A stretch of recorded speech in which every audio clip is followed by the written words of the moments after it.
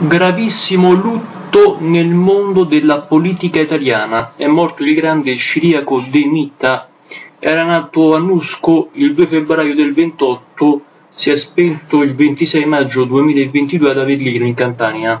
Era un famosissimo politico italiano, presidente del Consiglio dall'88 all'89, fu più volte ministro ma anche sindaco di Nusco a partire dal 26 maggio dell'anno 2014. Vi ricordo che Nusco è un piccolo comune ubicato in provincia di Avellino in Campania. Ebbe un potere politico negli anni Ottanta, fu presidente del Consiglio dei Ministri, in un governo creato da un, par- da un pentapartito, cioè da cinque partiti politici, che cadde poi all'improvviso nell'89.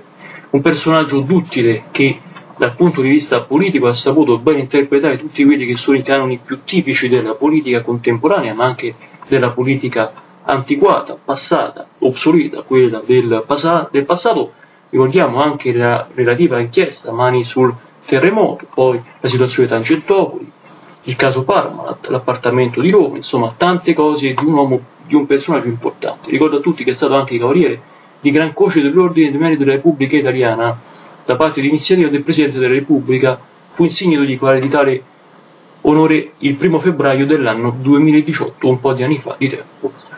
Purtroppo se ne va una sconvolta, o meglio uno sconvolgimento nell'ambito della politica per un uomo importante come lui.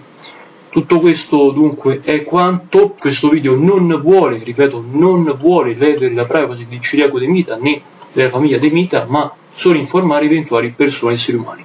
Detto questo, a voi tutti una buona giornata, un salutone caro, Ciriaco De Mita, riposa in pace, amen.